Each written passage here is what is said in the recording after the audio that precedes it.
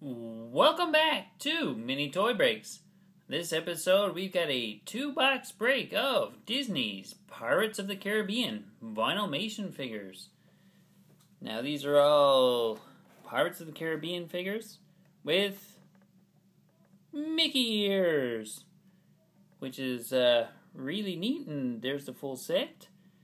And um, I'm going to get on with it now in a second, and I'm going to do my best. Um, to spare you from any uh, poor pirate impersonations in this video.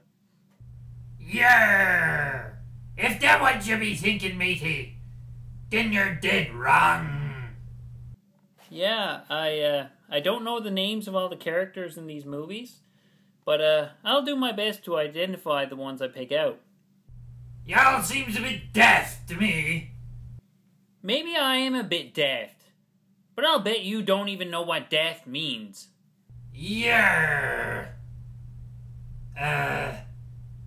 Nah. Anyways, let's see what's in the boxes.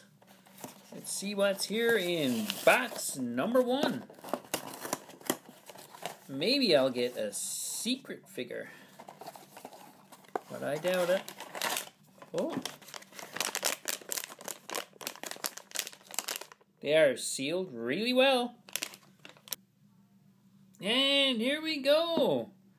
Vinylmation number one is a pig. Don't know if he's got a name or if it's even a he or a she.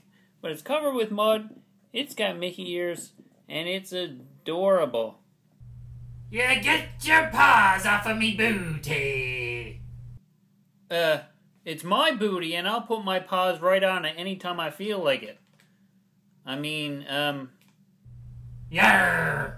Get on with it, you scurvy bunghole! Okay, on to box number two. Here we go. I knocked the little pig over. Here we go. Let's see what's in this one. Maybe there'll be an actual pirate in this one. Bag number two. And here we've got this guy. I don't know who he is. This is the old smelly guy who sleeps with the pigs in the bar? I don't know. Maybe it is. He's got ropes around him. He's got Mickey ears. He's got glasses. He's great. Where be me monkey be? These figures are really neat. So, um, thanks for watching Mini Toy Breaks, and I will see you next time.